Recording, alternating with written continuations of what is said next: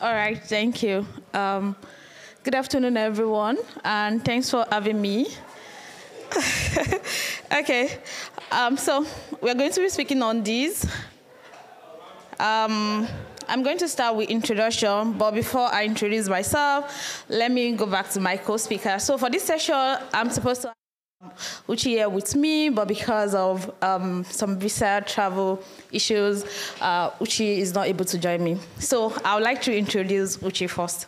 So Uchi is the founder of Chi Uchi is a developer and open source advocate. Uchi has worked with these listed organizations before, and of course, Uchi is a foodie. And from uh, Uchi's picture, you can see Uchi is big on um, culture. Okay, so back to my introduction. I'm Omotola Eunice Omotayo. I'm a community manager, open source and DI advocate, and I'm in Nigeria. I came all the way from Nigeria. okay, um, so I would like to start with this um, to state this um, to explain the state of open source for contributors. Um, we all know that now, currently or recently from years past, we've seen that open source is now largely used by organizations, individuals, governments, corporations, and so on and so forth. Um, they are now adopting the use of open source. So let's um, review some key developments in open source. I just mentioned the adoption. Um, we have other speakers have talked about organizations that are using open source right now, and that uh, also leads to increased growth um, in terms of the fact that we have more open source projects now more persons contributing to open source because open source um, allow persons from diverse um, background, irrespective if you're from, uh, let's say you have tech background or you don't have tech background, you can contribute to open source. So everybody's coming with different ideas to work on solution, provide solution for this organization using uh, open source. So um, that also leads to more participation, government is using it, um, then also more focus on security. All right. So because I mentioned earlier that this section is going to be focused on contributors, right? Um, let's look at some benefits that contributors, we all know that contributors are gaining from open source, right? Um, accessibility and contribution. I mentioned earlier that open source is um, welcoming to everyone, irrespective of their background. They are welcome to contribute, to be part of, um, improve open source projects, and so on. That also leads to their skills development. So um, open source allow you to come in with that knowledge that you have you work with other persons to provide a solution, right? And while contributing, you learn one or two things as well. So that's where um, skills development and career advancement, because you can come from a non-technical background, start probably increasing, uh, improving documentation, and before you know, you can um, even change your, um, you can learn more about programming language while documenting, right? And from there, your career will advance from maybe zero to 10, 50, and so on and so forth. Okay. Um, let me let me go back a bit. So this section, we, um, uh, we I want you to also understand that there are methods for um, for paying or appreciating open source projects, right? But if you agree with me, these uh, benefits or approaches for paying open source contributors are always on the bigger side of things. Like um, we have one speaker mentioned the other time that their um, organization appreciates the open source software that they're using. But trust me, there is one open source software maybe on the lower level that is not being appreciated. Be, it might be because they don't have a big community backing them up or because they are not popularly known. We'll get there. So um, I'm just going to highlight um, some methods or approaches that open source contributors are being paid with. Um, we obviously know GitHub sponsors. Uh, they've supported a lot of open source projects, um, donations and grants. For open source projects that has um, big, organize, uh, build, uh, big communities backing them up, or let's say that well known because they have a big name, right? They can easily apply for grants and they will easily get it, yeah, because they are well known open source um, software.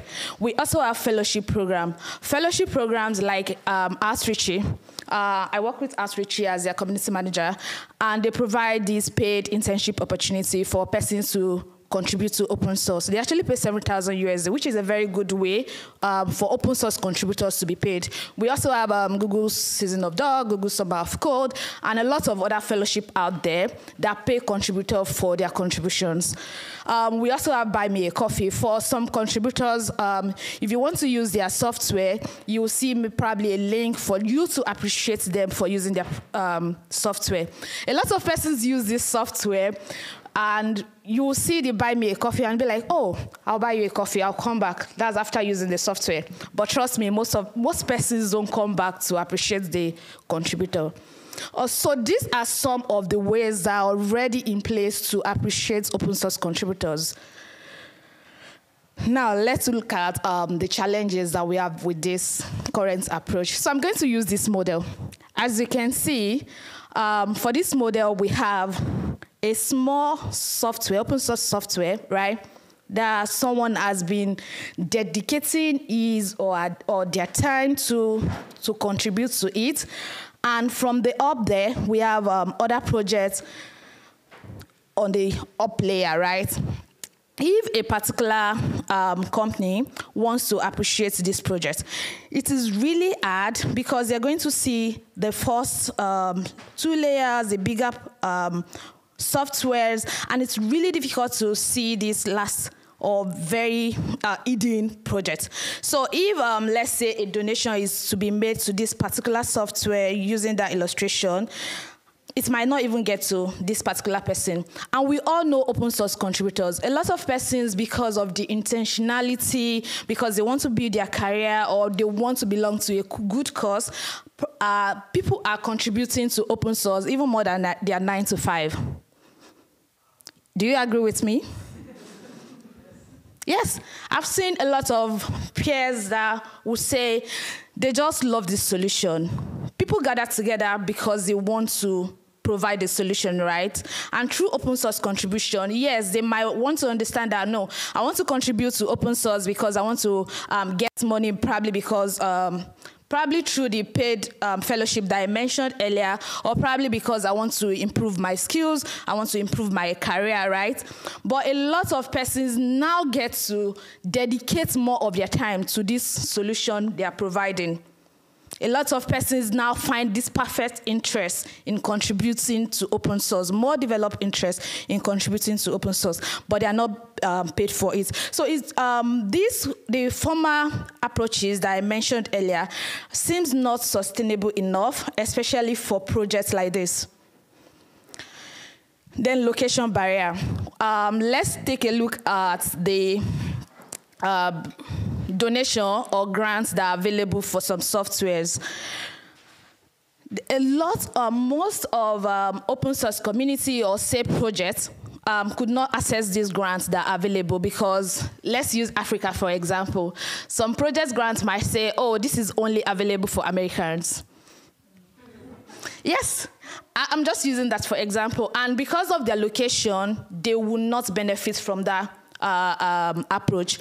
And um, this is a very big problem because it's not um, this approach or other approaches, uh, because of this location barrier, um, contributors are not able to benefit from it.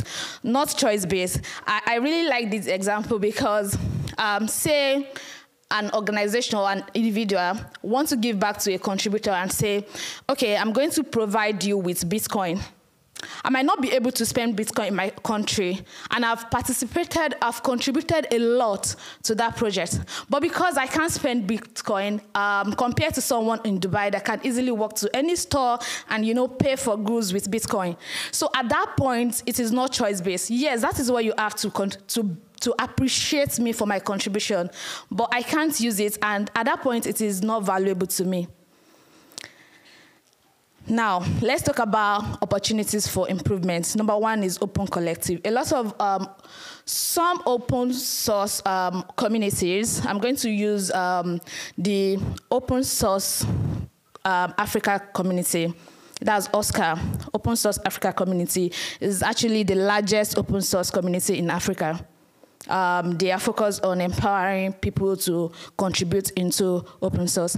And the funniest thing is this community have, um, over the years, been able to dive in a lot of persons with zero knowledge in contributing to open source to now making good impact in open source contribution. So last year they were able to use Open Collective um, to get donation various donation from anywhere. There's no location barrier, and it's transparent way of um, getting donation and other benefits. Another example is the Interledger and web monetization. So um, allow you to use your API, add um, web monetization to your projects. So without having um, your users having to go through maybe a third party, maybe sign up for something, maybe fill a form, you'll get paid for people just visiting or using your projects, which is quite easier on your side as a contributor and on your user side. And the third um, method that I'm going to be highlighting more is um, the Chimoney. So Chimoney is a global payment method, just like the image you can see here. And going back to the challenge, the challenges of the approaches I've mentioned earlier, the location-wise, not um, choice-based, and also not sustainable. Uh, Chimoney stand in gap in this aspect because um, you can send benefits, you can send gifts, you can send anything to anybody nationwide without any barrier. So I'm going to use um, this case for to as my case study. So last year, Chimoney contributed in the um, popularly known um, Hacktoberfest and we use um, these two products, Chi-Pay and Chi-Connect. So we make these projects available for contributors, for persons with zero knowledge, any aspect of career paths that they're coming from, um, be it um, documentation, programming, design, to contribute to these projects these two projects and what were the benefits that this contributor got from this um, participation. We have a community set aside where these contributors can come in to work in teams with other persons working on that solution. So in this community, I can come in and say, I'm just learning how to design, but I want to do this. You see other designers in there that are going to collaborate with you and say, oh, this is the tool I use for my design. Why not let's jump on the call? People are intentionally ready to help each other to contributes. So we have this community behind uh, this um, participation in the Hacktoberfest, which um, is really a big one. So they were there to support each other. And um, after um, towards the end of the contribution and even after the contribution, for the top contributors, we had a one-on-one. Uchi has a one-on-one conversation with them to learn more about their their journey in um, open source, how where, where they started from, where they are right now, where they see themselves in the next say two years, three years, and five years. How Chimoney can actually be of up to them. So we were really intentional about their growth. We didn't ask them to only come and develop our projects, but also want to learn more about how we can work with them, or even if it is um, to advise them on these are the steps you can take, these are the things you can do, which is actually a very good encouragement to contributors. We also provided swags um, to top contributors. So if you ask me now, um, I mentioned earlier that location barrier. So Chimoney stand in gap with that because we can send you a gift. I'm going to explain that um, in details later. We can send you, say, we provided um, credits you can this Chimoney credits can be redeemed in your local bank regardless of what wherever you are your location. You can redeem these Chimoney credits in your local bank. You can use it to shop on your favorite um, marketplace. And uh, you can also change it to your bitcoin wallet so you can decide what value you want to get out of the gifts we are giving you. So it's for everyone, regardless of their location and whatever they want to use it for. So this gift, these incentives that we provided for them um, was really encouraging because for every merge PRs, you get a gift and you can redeem it in any form that you want. How we um, so we were able to use Chi-Pay to send these gifts, which is quite easier on our side because I was expecting, I'll, I'll be expecting question like, so you have a lot of contributors. How were you able to like get their details without imp, um, invading in their privacy, not saying send me your account details or whatsoever. So all we need to send them their gift is just their email address or say their um, Twitter handle. And with just this, we were able to send at once more than 10,000 at once, make that action, send more than 10,000 gifts to everyone regardless of their location. So that was made possible um, by the product. And, um, oh, did I talk too fast? okay, okay, okay. So let, let me summarize this. It's actually a long conversation, and I'll open it for more discussion. But what I'm trying to say in summary is that there is there is a lot of engagement. There is a lot of collaboration in improving open source um, software.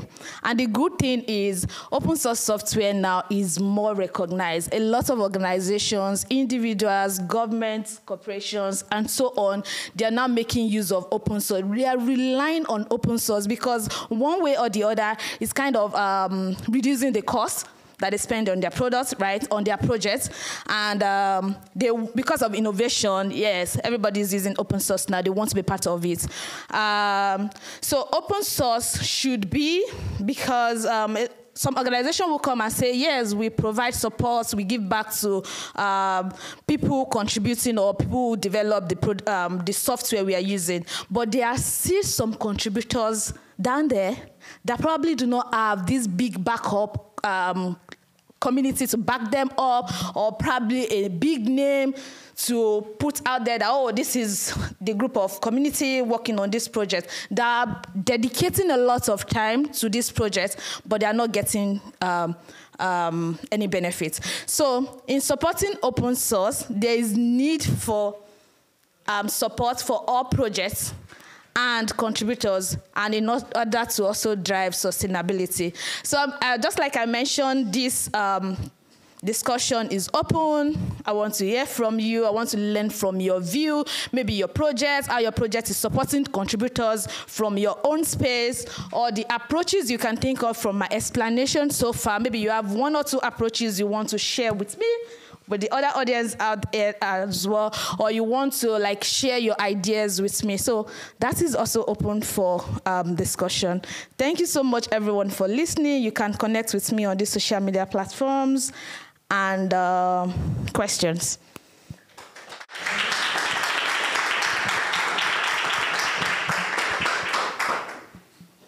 Right, do we have any questions for Omotola? Uh, hi. So, hi. Uh, you mentioned fellowships. Do, do, you have any experience with any particular fellowship programs? Okay. Uh, I mentioned earlier that I work with Outreachy. Outreachy is a paid remote internship opportunity. Um, Outreachy pays 7,000 USD for their interns, and um, they welcome persons who are underrepresented in the country they are living in, especially in tech. Maybe you are not opportune to study computer science or whatever. Um, the so-called you should have a technical knowledge. So Outreachy welcome underrepresented population to their pro, um, program. The program happens twice a year, and yeah, I'm very familiar with it because I'm one of the organizers as well.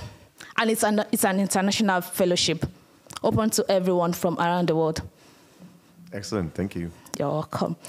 And another good thing about the fellowship I mentioned earlier is we don't just um, welcome interns, people to contribute, we also welcome people who have um, good knowledge about open source contribution, people who have um, communities who have projects that they want to develop to participate in the program as well as mentoring organizations to mentor these interns that are coming in and also that in turns um, help them to develop their projects even more faster. Um, with the internship or fellowship program, aside from the cash uh, benefit how else do you find those people need to be supported? Uh, can you repeat the uh, question? Uh, how, how else do you support the fellows, like with equipment or with like internet connection or? For the fellowship program? Yeah. Um, so I mentioned that the um, fellowship program is paid 7,000 USD, and um, we don't provide, um, say, other resources, but we provide one-on-one mentorship opportunity. So you have your mentor who is dedicated. I think we have a mentor in the house. okay, so we have um, a mentor. Who, yes, another mentor. We have mentors who are dedicated. We have community, open source community, who are dedicated to help you to go through this process. Okay, so so the question from the mentor, because I, I was twice the mentor of, of Outreachy. I mean, I know, I, I know the organization and, and personally. Uh, so uh, what's the how do you see the role of mentors in the future for uh, for the, these kind of fellowships and this kind of like bringing more people into the open source community? I think this is something that we've been discussing, uh, and I, I think I would love to hear your perspective on that and the others. Okay, so I'm going to explain the roles of these mentors and how it also um, serves as a benefit um, to contributors. So um, I would say without mentors, there is no, this fellowship will, will not be as strong as we put it, and there won't be proper way to support um, contributors' interns or uh, fellowship. So the, the, the, the, mentors serve as um, great um, resource for the program. And uh, as well, the mentors have to dedicate their time to ensuring they provide the right resources, learning tools, take um, the participant through the process and ensure, and in turn, um, the, the mentors projects will also be worked on by the interns, uh, making it easier for them to, you know, scale their projects. And um, let me now talk, let me divert back to the benefits to the contributors. A lot of persons come to open source to contribute their small or in whatever level their knowledge to that particular open source project, right? But because they have mentors who can explain to them, this is what, like what we did with the Hacktoberfest, we have a community, we have people who are experts in that field, right? So the mentors serve as a very um, great resource for them to actually scale from the level where they are when they came into contributing to op the open source to where to the next level. Yes, please. Uh, how do you attract uh, contributors for your fellowship programs? Is there any basic minimum criteria, or you can just allow whoever interests in into the fellowship program that you mentioned. Okay, so, so, for the fellowship, the fellowship is open to everyone, regardless of your skills level. Um, the projects that we have for the fellowship, for the mentoring community, have um, so the, the mentors will state the requirements. Uh, because we welcome first-time contributors to this project, right? So you can state for your project as a mentor, you can state that this project level is one. We have one to five. Um, one can mean you don't need to have, you learn on it. Two can be this is. Uh, it is it is important to have, but if you don't have it, you're still welcome. Three can be this is required. Four can be you need to have in-depth knowledge on about this tool. Then five can be you should be experienced with the tools and every other. So the space is welcoming for everyone. Like, regardless of the levels you are, you always find something to work on. Yes. You're welcome. Any other question? Um, just like I mentioned, this topic, um, this session is open for conversation. I'll be so much around. You can meet with me to share your ideas as well. Thank you. Thank you so much.